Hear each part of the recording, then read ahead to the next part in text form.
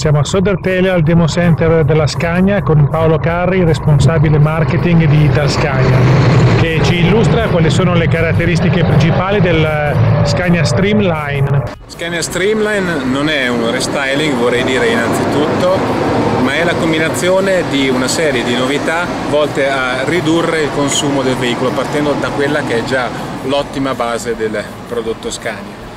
Eh, elenco principalmente tre aree su cui abbiamo operato. La prima è quella di motori Euro 6 con l'introduzione di propulsori di seconda generazione. Abbiamo poi la catena cinematica con la standardizzazione di Scania Optic Cruise e di nuovi performance modes, le modalità di performance a cui si aggiunge la, modalità, la nuova modalità economy che sfrutta al massimo Scania Active Prediction. In ultima una serie di miglioramenti aerodinamici esterni alla cabina localizzati principalmente nei eh, deflettori sul, eh, sugli angoli della cabina e nel nuovo eh, parasole superiore.